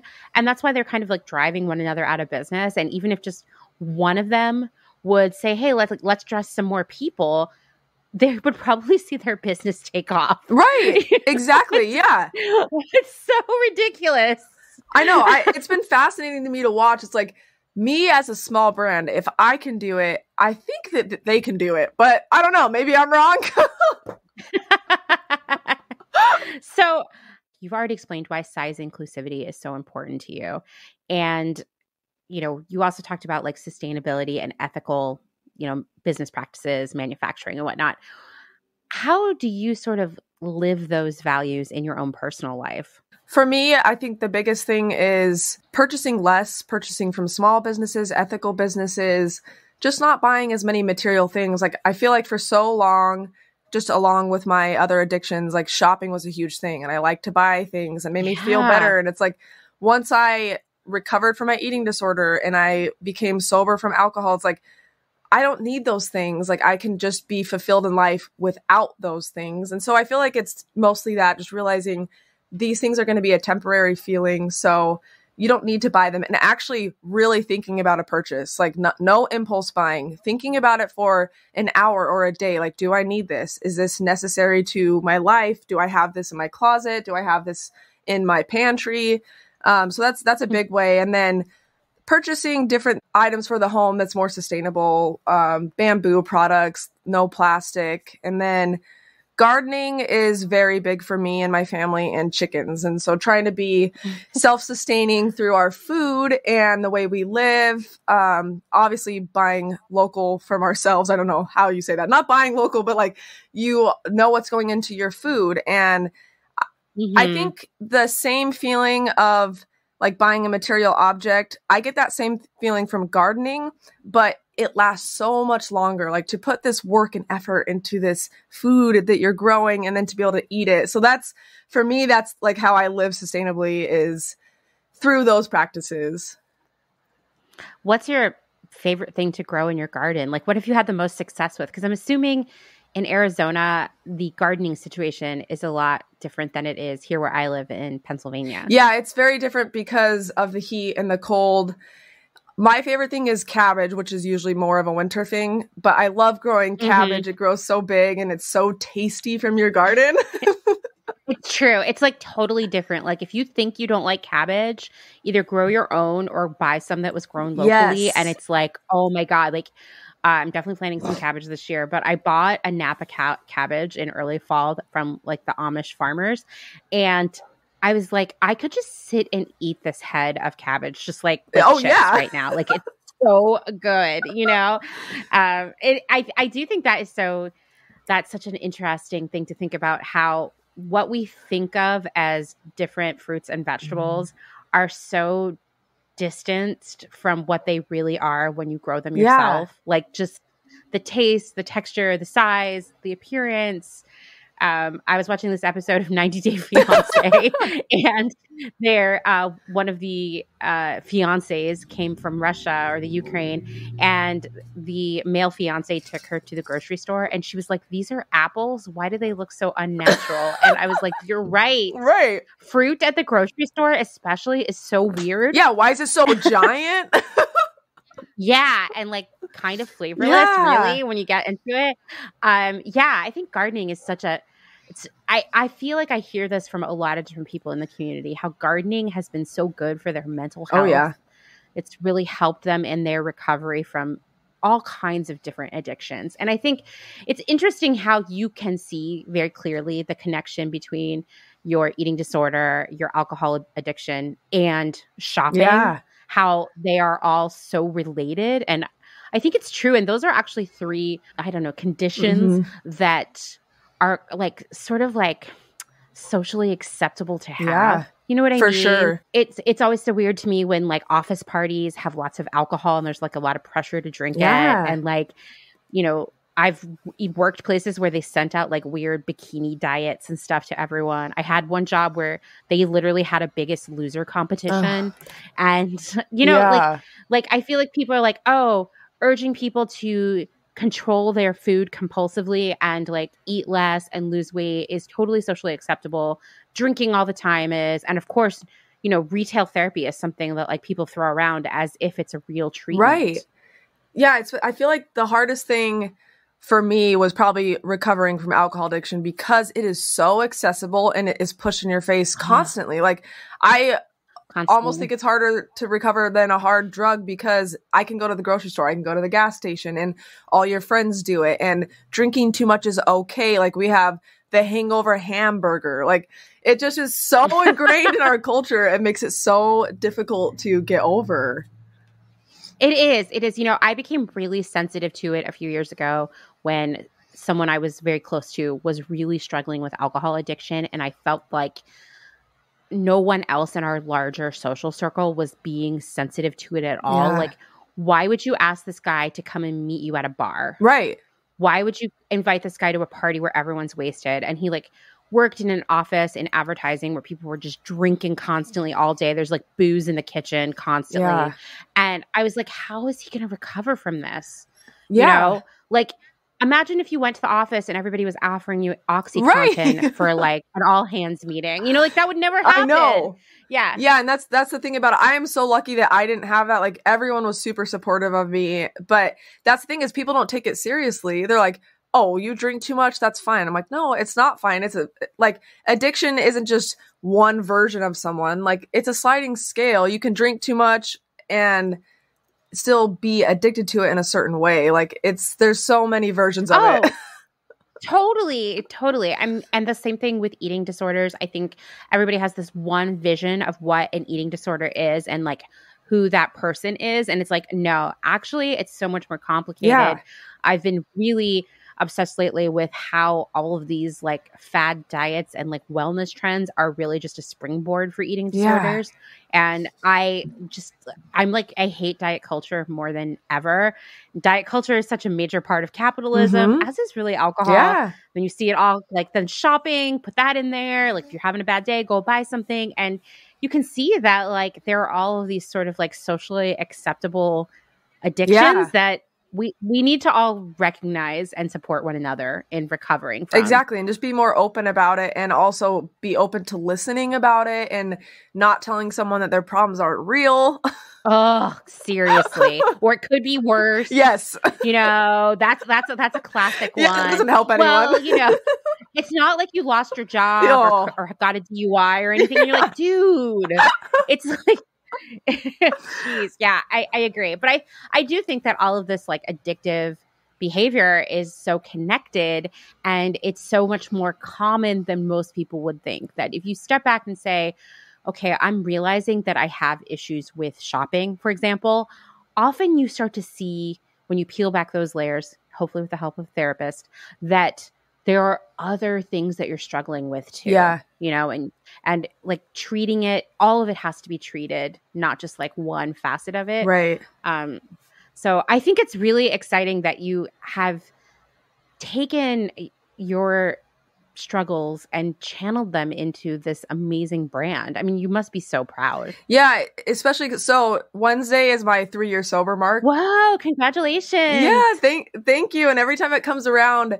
I really like to praise myself and feel good and pat myself on the back because if I think about before three years ago, like there's no way I would be where I'm at now. So I'm so grateful with what I've done with the brand and really turned my life around. And that's why I'm super open with it on social media because I just hope to help others and see that addiction, eating disorders, there's not a face for it. No. Like it looks different for everyone. And I want people to feel open to talk to me about it and know that it's a real thing. And so I, I just, I'm super open with it and I hope that it helps someone else. I think so. I have been really, really encouraging everyone, you yelling about it a lot on Instagram. Like, we need to be I think that we have been conditioned over the past few years, maybe the past decade since Instagram really came up, that our social media is for showcasing all of the good things in our lives. And I think that that actually affects everyone else's mental health poorly that we feel yeah. like we have to put a positive spin on everything that happens. And I think it can be really incredible for both yourself and the people in your life to say, hey, things suck right now. Here's what's going yeah. on. You know, or guess what? I've been sober three years. Like this is a miracle. Here's how I got here. You know, like I think yeah. I think being sharing our true selves on social media is kind of like the most revolutionary idea right now because Instagram has become a place where people sell stuff and influencers are, you know? And yeah. like what right. if what if we kind of like took it back and we're like, no, remember when Instagram was where you saw pictures of your friends and had inside jokes yeah. and saw what they were doing instead of just like, here I am with my flawless avocado co- toast. Yeah. You know, like I think I'm really excited by this idea of us like taking it over. yeah, me too. And I feel like it's super helpful for me too. Like I know I'm helping others, but it's also helpful for me to share. And I feel like that's been the biggest struggle with social media is learning like, okay, I'm a brand. I'm supposed to be like a certain amount of professional, but I've also like thrown out that out the window. It's like, I'm going to do what I want to do. like, I'm going to share stuff because people like to connect with the brand and I am the brand. So I want people to know me and who's behind the brand. Totally. I agree. That's the advice I give everybody who asks me about that. I'm like, you are the brand. Be your true self because yeah. you really want to blend in with Nike and you know Zara and all these other like super polished corporations that like aren't cool and don't do things right. No, you want to you want to showcase why you are special and unique, you know? And yeah, I exactly. I love that. It's like bring the honesty back to our existences, I guess. You know? For sure. Yeah. And I feel like that's why I, I like being a small business because I don't have to answer to anyone. Like, I don't have to say, to my PR manager, like, don't say this. I'm like, I don't have to answer to anyone. Like, I'm going to say what I want yeah. and I'm going to be open. I think that's really, really cool. So, what's like the coolest thing that's happened so far as you've worked on the brand? Like, I feel like everybody has that one moment where they're like, oh my God, things are going the right way, you know? yeah, for sure. I think um dressing different musicians has been my favorite thing. Like pe- musicians buying stuff and seeing it on stage. It's just the coolest thing for me. I bet. I, I when I was talking about the costuming for music videos, I've costumed and styled for MB Alexander. It's a local band, and seeing that in a music video and on stage is just so surreal. Like I put my hands on that. I made that. It's on stage. It's so awesome. So I think the musicians has been really cool. Um, I sent an outfit to Laura Leasy of Khruangbin and Courtney Marie Andrews, Pearl Charles, like just seeing that is like they like my stuff and I like their stuff. And this mutual appreciation is so amazing to me. I love that. I think that is so cool. And it's just like artists supporting artists, you know? Yeah. Um, I would way rather see that than like see you know, like a celebrity wearing something from like Zara or something. You know, I think it's like so much more yeah. meaningful. Or like from a big like I don't really care if someone's wearing Gucci or something. Like that's not interesting to me. I'd much rather see yeah. something cool and unique and made by like uh, like someone who's like a growing, you know, small business. Like that is so much cooler to me. Like yeah, it stands out. Yeah, yeah, for sure, for sure. I also like think luxury is really uncool anyway. So um, I know I don't own any luxury items. yeah, I've never even been interested. Even if I had a yeah. lot of money, I wouldn't buy it. It's just like not interesting to me. Um, like what are your creative inspirations? Because I know like stylistically you're taking in all kinds of ideas from all over the place. Because even looking at your like your collections, you've got like velvet and you've got like mod florals and like all kinds of bright, amazing colors and ruffles. Like, I guess overall, your style inspiration is very like girly, if you will. But like, for sure, yeah. What outside of like clothing inspires you creatively? I think traveling has always been one of my biggest things. Like, I've done, I haven't done a bunch of traveling outside of the US, but I went to Italy a few years ago and just seeing everyone's different style is super inspiring and even the landscape like doing road mm-hmm. trips and i am from the west coast and i love the west so much and just the desert landscape and the mm-hmm. ocean is mm-hmm. so inspiring to me to make outfits for those situations like oh i'm going to go on a beach trip i want a fun loud outfit that fits that situation and small other small businesses are super inspiring But for me, that can be a slightly slippery slope because you don't want to be too inspired by another business where you're making something like way too similar. So mm-hmm, it's like mm-hmm, trying mm-hmm. to figure out those inspirations. Um, but I'm also inspired by different fashion brands. Rodarte has been one of my favorites forever because I like how frilly and fun mm-hmm. and girly. Oh my gosh, me too, me too. and then I, I, really like Chromat. They have like changed the runway world for being mm-hmm. super size inclusive and I love their colors, their silhouettes. The other really big thing is perfume commercials. I don't know why, but there's something about perfume wow. commercials. I mean they are, you know, I I guess I don't see a lot of commercials anymore, but I do remember seeing them a lot and they always felt different than anything else that's on television like yeah. very like they create a mood. They were like that like tumblr mood aesthetic before tumblr i feel like. Exactly. Do you have like a personal favorite make uh, perfume commercial? One of my favorites recently is one with uh, florence and the machine and i can't remember if it's gucci or dolce and gabbana but the reason i love it is because you if you just looked at it with not seeing any titles, you have no idea what they're selling. And I love that. it's like it's just art in itself and you don't know what they're selling you, but it's just beautiful. it's true. I have noticed that with a lot of perfume commercials that like you don't know until the end that it's a commercial for perfume at all. Right. And it's just like sometimes they're really sexy or sometimes they're really like visual, but it's always just it's like I mean, I th- I would love to someday do an episode just on perfume because like the actual contents of a perfume bottle cost like pennies, but yet you're yeah. selling this idea, you know? And so it makes right. sense that perfume commercials are so just like aesthetic, I guess. Yeah. selling you the idea of like the mood exactly. of that perfume. Um, so I think I think that's a really cool thing to be inspired by. I mean, do you personally like perfume a lot, or are you like an anti-perfume person? I wear it here and there, but I'm not huge on it. And the more I learn about like the different chemicals and mm-hmm. how it mm-hmm. messes with your hormones, like I'm kind of stink sticking away from it. So I like it in the allure of the beauty of it. yeah, yeah, I agree. And I feel like the packaging is always really interesting and like design forward. Yes. And I feel like people like the companies they put so much like time and attention to detail into creating like the packaging and the commercials and all the marketing, but then like the product itself is usually stinky. yes. so like it's always kind of disappointing. Um, well, what are your dreams for the future of your business and you? I mean, you are the business, you are the brand. What would you love to see happen? I would like to bring more items to the brand. Maybe not necessarily that I make like jewelry from another small business and bags and accessories. Like I, I'd like to bring more into it where I necessarily don't have to make it because I just feel like that's too much to take on. Mm-hmm, mm-hmm. And I really want grant brand growth and to be able to hire more people because it makes me feel happy that I can sustain myself and also sustain someone else by hiring them. Mm-hmm, I agree. And that's got to be a good feeling. Yeah. Oh, it is for sure. Especially within this pandemic, I was so happy that I could hire two people. Like I could would never have thought I would be able to do that. So I was very happy about that. That's amazing. Um, what are you working on next? Do you have any cool stuff coming up?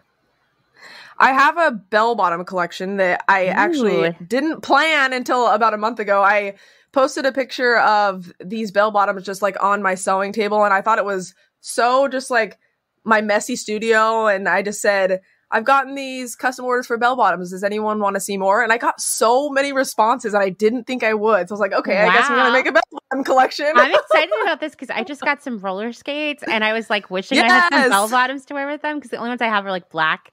It's just not the same. Yes. I need like a fun pair. So I can't wait to see that. You've obviously tried to like minimize the plastic in your life. And this is something that I've been working really hard on a personal level to do too.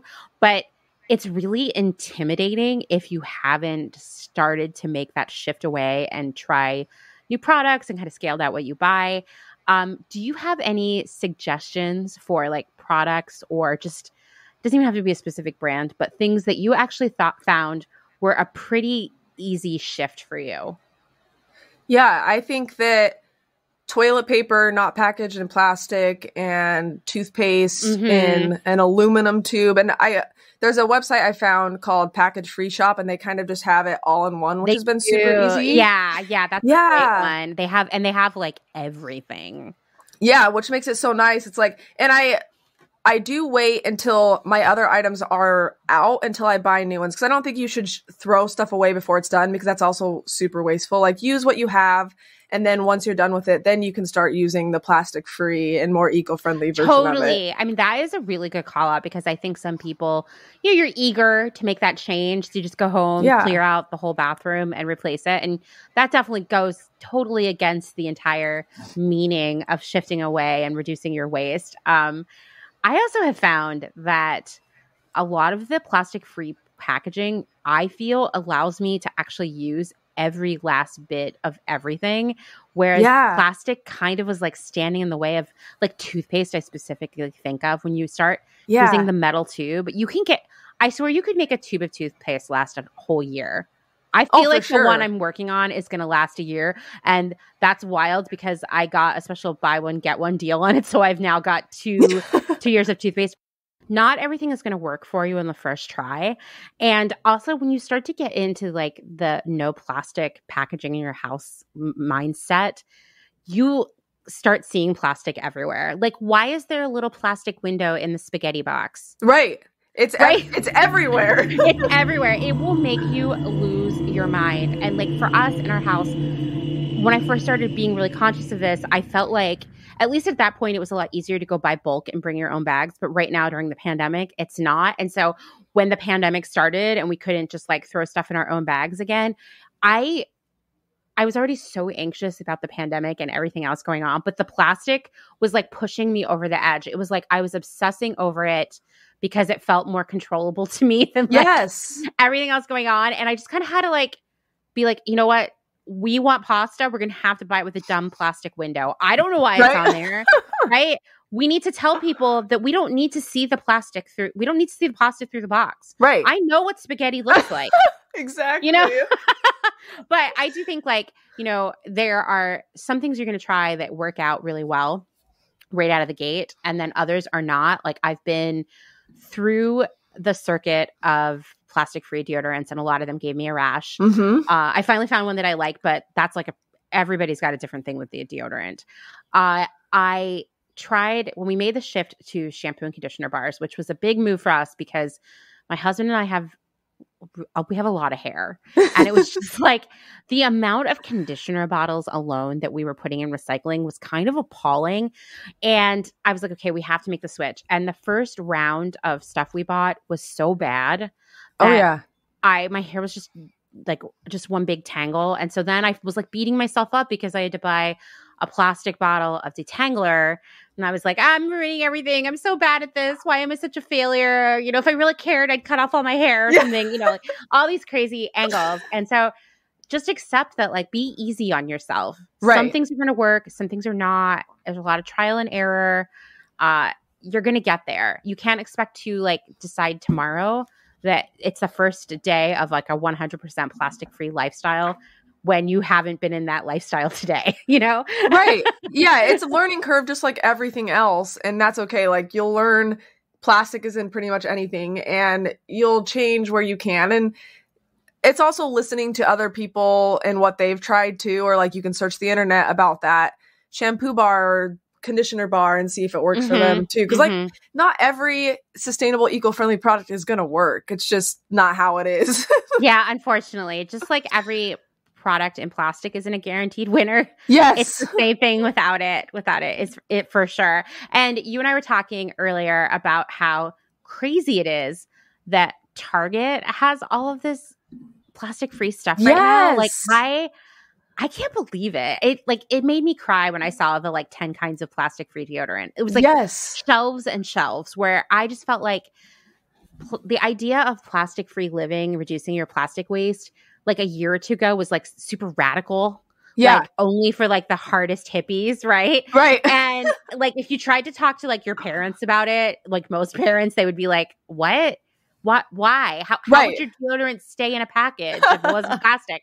And it it for me is like it, it it makes me feel really optimistic that if enough people push for all of these other changes in terms of consumption and living wages and better quality products and all of these other things that it could really happen because shifting out of plastic is a major it was like one of those things that a couple years ago that every major manufacturer was like no there's no way. It's Oh, right. happening. This is where we are. Accept it. Yeah. like and now it's a target for like average people Right. And I feel like if it becomes more normal where there's not even a product with plastic, then no one would even know the difference, the people that don't even do the research. So that's what would Yeah. become so nice. if the pasta came in a box and you couldn't see it inside you wouldn't even think about it right. so I do I do feel excited that like if we can continue to like grow our community and band together, we can actually make some really wild changes. For sure. I yeah, spreading the knowledge and spreading all the companies that you find like, oh, I found this new eco-friendly poly mailer, like sh- sharing the company with others so that they know as well. Like not taking all this knowledge and just keeping it to yourself like I only want to know this because I found them. It's like no, let's let's share it. Right, right. And like that is like, man, that line of thinking, I think it's like actually probably just like really basic human nature to be like, I found the polybag mailer or this great fabric supplier or something, and like I'm never gonna tell anyone else. But like right. that doesn't like sharing all of this information is what helps us make the world better like let's support our fellow small businesses so that like we can take down the big ugly stupid corporations you know exactly. like yeah. Yeah and so i i have been thinking a long time about how it would be really great for all of the small makers on instagram. I specifically target instagram because i feel like that is where our community lives now and combining forces and being like okay we're going to buy a pallet of these compostable mailers so we can all afford it. Yeah, we're going to go in on it or we're going to like you know we're going to decide like all of us need this kind of fabric and we need this much as a group let's go make a big purchase of it Yeah. so we can get it you know like whatever other like tools and materials that have been really challenging i think that like i even think about something like etsy which so many small makers and sellers depend on and i feel like it actually keeps people more siloed from one another oh yeah. than you would think like you think they're all on the same website but they're all in comp like direct competition with one another yeah. and what really they should be doing is combining forces and competing with etsy Yeah, exactly. Yeah, because there's enough of us small businesses to band together. Yeah, to be like Etsy, do a better job. Yep. Shopify, get your act together. Yeah. You know, like whatever else. Like that's what it really should be. But I think that we are all as humans, like, I've got to protect myself. Yeah. You know, I can't like reach across the Instagram feed to this other business and like talk Yeah. about what they're doing. Um, and I just think, you know, this idea of growing business and changing the world involves us like connecting with one another and being really honest about the challenges that we face. yeah, because we can't take it on alone, and obviously two heads are better than one. So yeah, coming Yeah. together is the only way it'll work. And just like being straightforward about the challenges that you face. Like, I think there's way too much like media around how easy it is to start a business. And there's way too many stories out there of like, I didn't even want to start a business and now I made a million dollars. Like, I, that is like, if that truly happens, that is an outlier because actually doing, starting your own thing is really hard. And there's crying, Yeah, there's anxiety, there's a lot of crying. Yes. there's a lot of like being really tired, like beyond reason. yeah. You know? Oh my god. Yeah. And I just think we need to like share that. And that's not to discourage people from starting a business. It's it's to say, hey, did you experience that today? It's okay. It's totally normal. You're not a failure. Your business is still great. You're gonna succeed. It's okay to cry. It's Yeah. okay to, you know, like Yeah, just making it normalized. Like it- this is yeah. not always fun. It can be crazy sometimes. Yeah, it is. And it's it's really tough to find that balance, yeah. you know, because like you're doing everything. Yeah, and that's the one thing I think the biggest thing I struggle with is I can never be away from the business no matter where I go. It's That's bad. yeah, it's emails, it's Instagram, it's I have a chat button on my website, so it's no matter where I go, if I go on vacation, like it's you're there constantly because no one else is there, it's just you. Right. So if someone chats you on the website, they're really they're literally chatting you, yep. Right? Yeah. No matter where you are. Yeah. I mean, same thing with Instagram messages and stuff. And I think it's so crazy because all the small business owners I know are like, they are working 24 hours a day, like answering emails and messages and DMs and comments. And then you'll look at these like larger corporations that have like thousands of employees and they don't respond to anything. yeah. And you're like, wait, but like, how's that fair? right. Yeah. You're like, I'm doing this all. Like, come on. I'm literally in a towel right now. Exactly. Answering someone's question. right. Like I'm eating my dinner and I'm typing, answering all the questions. Like- yeah, exactly. Exactly. Uh, I think, I mean, that is what it is to really be a small business. And I think we just like need more of that. And it's not all just like glamour and excitement. And also, you know, everybody thinks that everyone who has a small business is somehow getting rich off of it. Oh yeah. Which is laughable also. yeah, it's it's definitely not true. I mean, like we may be making a living, but doesn't mean we're rich and and Instagram doesn't show everything either. Like we're not going to say, "Oh my gosh, I can't make my bills this month." yeah, I know, I know. And so it's like that's why we got to like take back Instagram. I'm telling you. Yeah, we need to like make Instagram honest again. Exactly. That's my campaign slogan: make Instagram honest again. I'm down. I will join. I don't know what I'm running for, but it's just a general campaign, just like an awareness campaign. Um, so, I'll vote. I don't know what you're voting for, but yes, I appreciate your vote. so, do you have any like final like advice, words of wisdom, just a final message for everyone listening? Yeah, I think if you have an idea or you've been wanting to start a small business, just start it. You don't have to think too much about it to just begin. That's what's hard is if you go to school, like they tell you you have to have this business plan and it has to be all planned out before you start. But sometimes that can be super overwhelming. And if I listened to that advice, I would never have started. So just just do yeah. it.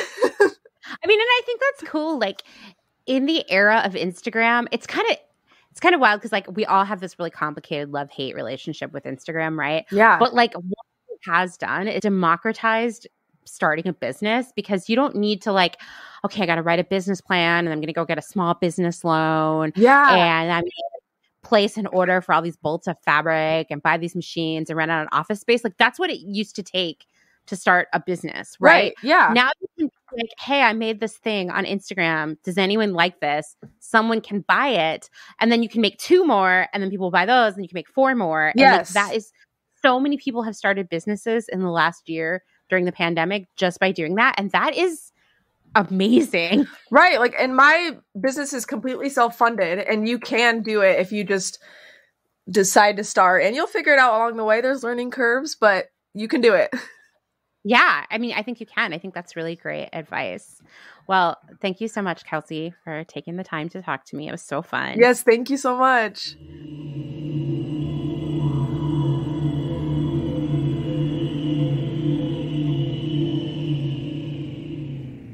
Thank you so much, Kelsey, for taking the time to talk to me. Please go check out her amazing line. Seriously, it's so cute. It's so cool. And the fact that a small company like this can make clothes for all sizes, well, please explain why these larger companies get away with saying it's too hard because Kelsey's doing it right now. You can find Kelsey on Instagram at ksgarner and you can find her website at ksgarner.com. Don't worry, I'll share all of that in the show notes. You don't need to get out a pen, you don't need to pause. It's fine. You're going to get the information in a minute. You know, every time I meet someone from our community like Kelsey, who's making amazing stuff while being truly inclusive and ethical, well, that makes me feel really excited for the future because small business is the future. I want the future to be lots of small brands doing things the ethical way, while the big dogs who prioritize profit over people will become relics of the past. I mean, just imagine we're all sitting around saying, hey, Remember Nike? What a weird time we lived through. And then we all laugh because we're like, ha, they're gone. Like it's like the dinosaurs. We can get there by channeling our spending away from big brands and redirecting it to these small brands like KS Garner, like so many makers, designers, and sellers in our community. Like, for example, the Pegasus sponsors of Clotheshorse. We need to support them. That is how we make capitalism better than it is right now your money, our money, Maybe we don't have a lot of it, but it sure is powerful. So use that power wisely and spend it with the right people. Thanks so much for listening to another episode of Clotheshorse. If you like what you're hearing, please rate and review on Apple Podcasts and tell your friends. You know, I'm like practically required by law to say those th- two things to you in every episode. Don't forget that you can find us on Instagram at Clotheshorse Podcast. And every Friday, I've been doing a super fun Instagram live at 8 p.m. Eastern Time where I update you on some new blog stuff and answer your questions. So please come and check it out. It's been pretty fun. It kind of almost feels like hanging out. Also, if you want to meet other Clotheshorse listeners, join the Clotheshorsing Around Facebook group. I'll link to that in the show notes. And if you haven't listened to it yet, please go check out my other podcast, The Department, which I co host with my friend Kim. It's totally different than Close Clotheshorse. It's my fun podcast. This is my unfun podcast. Wait, I'm not doing a very good job of selling Close Clotheshorse right now. Anyway, this week on The Department, which is coming in just a few days, we'll begin our mini series on internet dating, which has spawned so many wild social trends, so many strange phenomena that did not exist before the era of online dating. So please check it out. It's going to be really fun. Thanks, as always, to Justin Travis White for our music and audio support. Bye.